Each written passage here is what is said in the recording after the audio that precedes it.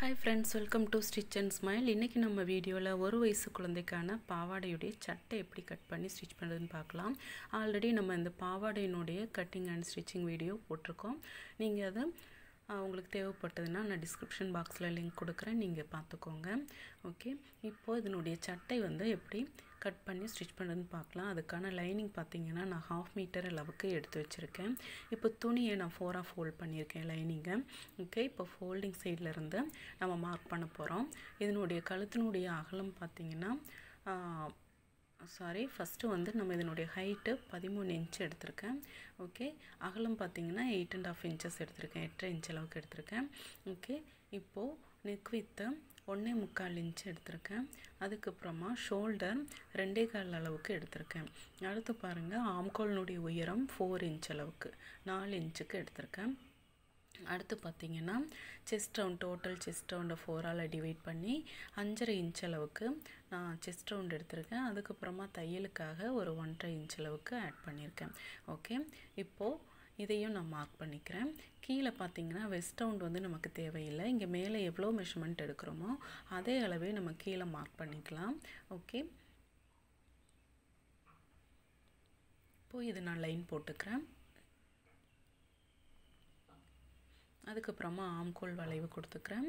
அடுத்து பார்த்திங்கன்னா கழுத்தினுடைய உயரம் வந்து மார்க் பண்ணணும். அதுக்கு முன்னாடி பாருங்கள் கீழேருந்து ஒரு மூணு இன்ச் அளவுக்கு நான் மார்க் பண்ணியிருக்கேன். இது எதுக்காகனா சைடு ஓப்பன் கொடுக்க போகிறோம் அதுக்காக ஓகே இப்போது கழுத்தினுடைய உயரம் மூணு இன்ச் அளவுக்கு எடுத்திருக்கேன். இப்போ இந்த மூணு இன்ச்சுங்கிறது ஃப்ரண்ட்டுக்கும் பேக்குக்கும் ஒரே மாதிரி மெஷர்மெண்ட் தான் நான் மார்க் பண்ணுறேன் நீங்கள் வேணால் பேக் சைடு மேலே ஏ ஏற்றணும் அப்படின்னா மேலே ஏற்றிக்கலாம் இல்லை இறக்கணுன்னா இறக்கி வச்சுக்கலாம். ஓகே அது வந்து உங்களுடைய இஷ்டம்தான். இப்போது ஷோல்டர் ஸ்லோப் ஒரு கால் கால் இன்ச் அளவுக்கு மார்க் பண்ணியிருக்கேன். இப்போ இதை நான் கட் பண்ணிடுறேன். அவ்வளோதான் இப்போ நமக்கு வந்து இந்த பாடி போர்ஷனுடைய கட்டிங் வந்து ஃபினிஷ் பண்ணிட்டோம். இப்போது இதை நம்ம கட் பண்ணிவிட்டு மெயின் ஃபேப்ரிக்கில் வச்சு கட் பண்ண போகிறோம் சேம் அதே மாதிரி தான் ஃபோராக துணியை ஃபோல்ட் பண்ணி அது மேலே வச்சு நம்ம கட் பண்ண போகிறோம் இப்போ இதை நம்ம கட் பண்ணிட்டோம். தேவையான இடத்துல நாச்சஸ் போட்டுக்கலாம். இப்போ நாச்சஸ் போட்டாச்சு. இப்போ மெயின் ஃபேப்ரிக் எடுத்து அதை ஃபோராக ஃபோல்ட் பண்ணி வச்சுருக்கேன் பாருங்கள் இப்போ அந்த பார்டர் வந்து தனியாக நான் கட் பண்ணி எடுத்துக்கிறேன். இது தேவைப்பட்டால் நம்ம யூஸ் பண்ணிக்கலாம். இதனுடைய நெக்லைன் மட்டும் நான் கட் பண்ணல. பாருங்கள் இப்போ கட் பண்ணி வச்சுருக்கேன். இப்போது எப்படி ஸ்டிச் பண்ணுறதுன்னு பார்க்கலாம் வாங்க.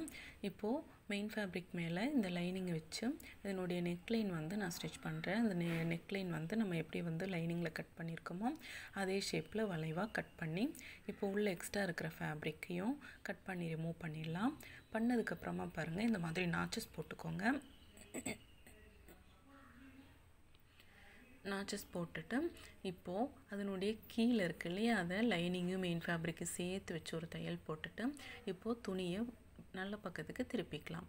திருப்பி விட்டதுக்கப்புறமா பாருங்கள் ஃபினிஷிங் இந்த மாதிரி இருக்கும். இப்போ பேக் சைட் பாருங்கள் நான் சென்டரில் வந்து ஹுக்கு வந்து கொடுக்க போகிறோம் அதுக்காக நான் சென்டர் போர்ஷனை கட் பண்ணி வச்சுருக்கேன் மெயின் ஃபேப்ரிக்லேயும் லைனிங்லேயும் இப்போ ஒரு ஒரு பக்கமாக நான் வந்து இதே மாதிரி நம்ம ஃப்ரண்ட் எப்படி கட் பண்ணமோ அதே மாதிரி ஸ்டிச் பண்ணமோ அதே மாதிரி நெக்லைன் வந்து ஸ்டிச் பண்ணி இப்போது லைனிங்கை உள்பக்கமாக திருப்பி விட்டுருக்கேன்.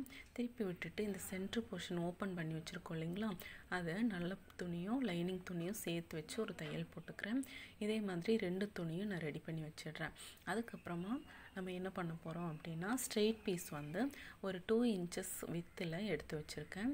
லைனிங்கில் ஓகே இதை என்னுடைய ரைட் சைடில் இருக்கிற பீஸில் மேலே வச்சு அதாவது நல்ல துணிக்கு மேலே வச்சு ஒரு தையல் போடுறேன். இது மேல் பக்கமாக லைட்டாக மடித்து விட்டுக்கோங்க. ஓகே இப்போ ஸ்டிச் பண்ணதுக்கப்புறமா இதை உள்பக்கமாக திருப்பி டபுள் ஃபோல்ட் பண்ணி பாருங்கள் இந்த மாதிரி ப்ரெஸ்ஸிங் கொடுத்து உள்பக்கமாக ஃபுல்லாக எல்லா துணியும் அந்த லைனிங் துணி உள்ளே போகிற மாதிரி வச்சு நீங்கள் ஸ்ட்ரெயிட்டாக ஒரு தையல் போட்டுக்கோங்க. இது பார்த்திங்கன்னா ஹுக்கு வந்து ஸ்டிச் பண்ணுறதுக்காக நம்ம பண்ணுறோம் அவ்வளோதான் அடுத்து என்னுடைய லெஃப்ட் சைடு இருக்கிற துணி.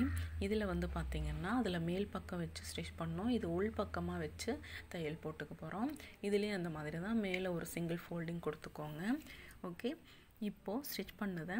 நல்ல பக்கத்துக்கு திருப்பி டபுள் ஃபோல்ட் பண்ணி இதில் வந்து நான் வி வந்து ஸ்டிச் பண்ண போகிறேன் இங்கே வேணும்னா ரெடிமேட் ஐ கிடைக்கும். அது கூட வச்சுக்கலாம். இல்லை நீங்கள் த்ரெட்டில் வந்து ஐ போடுறதுனால நீங்கள் போட்டுக்கலாம்.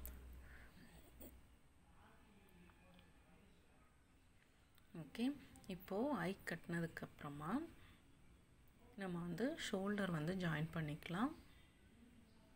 ஓகே ஷோல்டர் ஜாயின் பண்ணிவிட்டு அதுக்கப்புறம் இந்த லேஸ் வந்து நெக்லைன்லையும் அதனுடைய கீழ் போர்ஷன்லேயும் வச்சு நான் ஸ்டிச் பண்ண போகிறேன் ஓகே இப்போது லேஸ் வந்து ஸ்டிச் பண்ணதுக்கப்புறமா நம்ம என்ன பண்ண போகிறோம் பார்க்கலாம். இப்போ நமக்கு மேக்ஸிமம் வந்து எல்லாம் முடிச்சிட்டோம். அடுத்து பார்த்திங்கன்னா நமக்கு ஸ்லீவ் ரெடி பண்ணணும். இந்த ஸ்லீவ் ரெடி பண்ணுறதுக்காக இப்போது நான் துணி வந்து நான் எடுத்து வச்சுருக்கேன். துணி பாருங்கள் இந்த மாதிரி. இது ஒரு ஸ்லீவுக்கு டபுளாக எடுத்து வச்சுருக்கேன். எயிட் அண்ட் ஆஃப் இன்ச்சஸ் வித்தும் ஃபோர் இன்ச்சஸ் வந்து ஹைட்டும் எடுத்திருக்கேன். டூ இன்ச்சஸ் மைனஸ் பண்ணியிருக்கேன் ஓப்பன் சைடில் இப்போ இந்த ஸ்லீவ் வந்து நான் இந்த மாதிரி ட்ரா பண்ணிக்கிறேன்.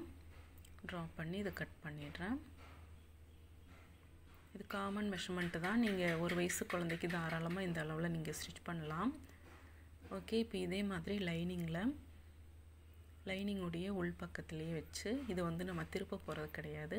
அப்படியே ஒரு படிமான தையல் போட்டுக்கோங்க. கீழேயும் இந்த ஸ்லீவ்னுடைய மேல் பகுதியிலையும்.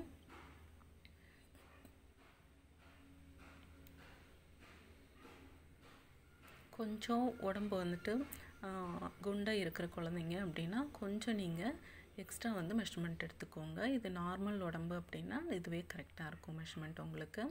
நார்மலான உடம்பு இருக்கிற குழந்தைக்கு இது கரெக்டாக இருக்கும். ஓகே இப்போது மேல் பகுதியிலையும் படிமான தேல் போட்டு ஃபினிஷ் பண்ணிட்டோம். இப்போது அந்த சைடில் இருந்து ஒரு த்ரீ இன்ச்சஸ்க்கு மார்க் பண்ணியிருக்கேன். இந்த பக்கமும் அதை மாதிரி மேலேயும் கீழேயும் ரெண்டு பக்கமும் நான் மார்க் பண்ணி வச்சுருக்கேன். இப்போ அந்த மார்க் பண்ணியிருக்கிற அந்த இடத்துலேருந்து சின்ன சின்ன ப்ளீட்ஸ் வைக்க போகிறோம் ப்ளீட்ஸ் வச்சு நம்ம இந்த பஃப் ஸ்லீவ் வந்து ரெடி பண்ணுறோம்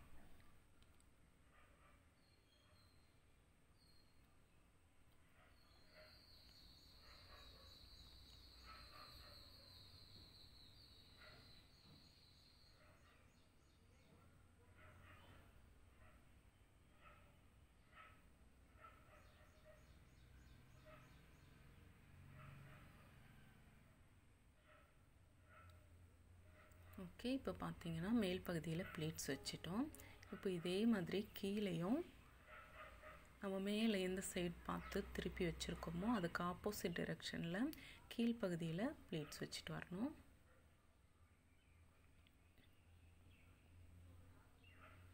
நம்ம இப்படி வைக்கும்போது நல்ல அந்த பஃப் வந்து தூக்கி கொடுக்கும். பார்க்குறதுக்கும் ரொம்ப அழகாக இருக்கும். இந்த மாதிரி ஆப்போசிட் டிரெக்ஷனில் வைக்கும்போது.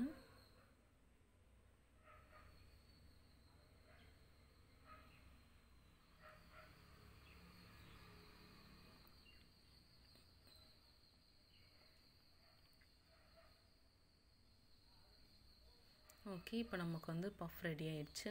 இந்த மாதிரி நம்ம ரெண்டு ஸ்லீவும் பஃப் ஸ்லீவாக பாருங்கள் இந்த மாதிரி ஸ்டிச் பண்ணி ரெடி பண்ணிடலாம்.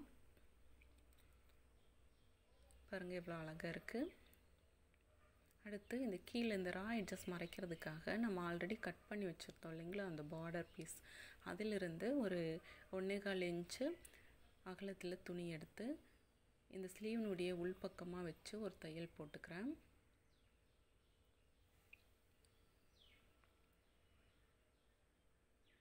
ஓகே இது தைச்சதுக்கப்புறமா நாச்சஸ் போட்டு இந்த பார்டர் பீஸை நல்ல பக்கத்துக்கு டபுள் ஃபோல்ட் பண்ணி ஒரு தையல் போட்டுக்கிறேன். ஓகே இந்த அளவுக்கு தெரிகிற மாதிரி நான் தையல் போட்டுக்கிறேன்.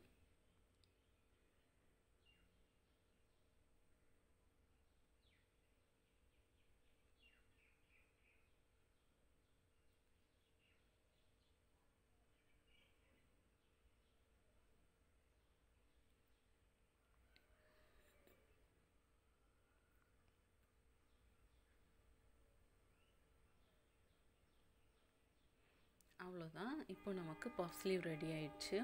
ஓகே இதே மாதிரி ரெண்டு ஸ்லீவும் நான் ரெடி பண்ணி வச்சுருக்கேன். இப்போது இந்த ஸ்லீவ்ஸ் ரெண்டையுமே நம்ம இந்த ப்ளவுஸில் நம்ம அட்டாச் பண்ண போகிறோம் இந்த சட்டையில் இப்போ வச்சு நம்ம தைக்க போகிறோம் இது எப்படி வச்சு தைக்க போகிறோம் அப்படின்னா நம்ம ஷோல்டர்னுடைய அந்த ஜாயின் இருக்கு இல்லைங்களா அந்த இடத்துல இந்த ஸ்லீவ்னுடைய சென்டர் பாயிண்ட் இருக்கிற மாதிரி ப்ளேஸ் பண்ணி தையல் போட்டுக்கோங்க.